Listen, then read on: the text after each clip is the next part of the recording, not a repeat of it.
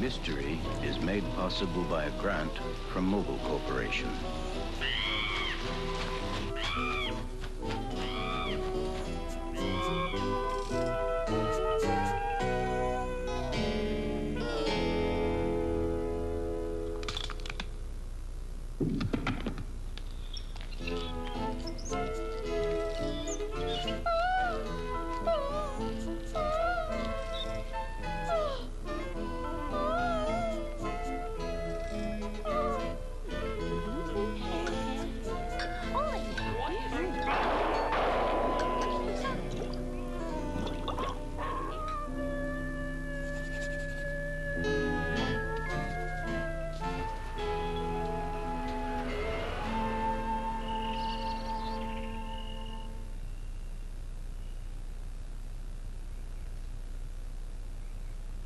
Good evening, and welcome to a very special night of mystery. I'm Vincent Price. Tonight marks the return of Sir Arthur Conan Doyle's world-famous consulting detective Sherlock Holmes. Remarks such as, don't ask me, I'm no Sherlock Holmes, show just how easily we have accepted Holmes as part of our daily lives. Almost from his first appearance in 1887's A Study in Scarlet, the great detective had an immediate appeal, and it's gratifying to see that today's young people appreciate him even as their fathers and their grandfathers did.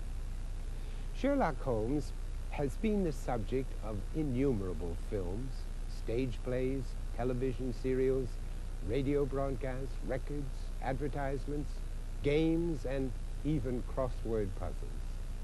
So it's somewhat of an understatement when Ellery Queen tells us that more has been written about Sherlock Holmes than about any other character in fiction. And more has been written about Holmes by others than by Conan Doyle himself. And yet, for all the material written about this famous man, we still know very little of his background. Holmes remarked that his ancestors were country squires, and that he himself was the grandson of a sister of the French artist Vernet. He reminds us tonight that art in the blood is liable to take the strangest forms. But Holmes was always reticent about his past, and even to Watson he would not talk about his relations or his early life. So you can imagine the good doctor's surprise tonight when Holmes introduces his brother Mycroft in The Adventure of the Greek Interpreter.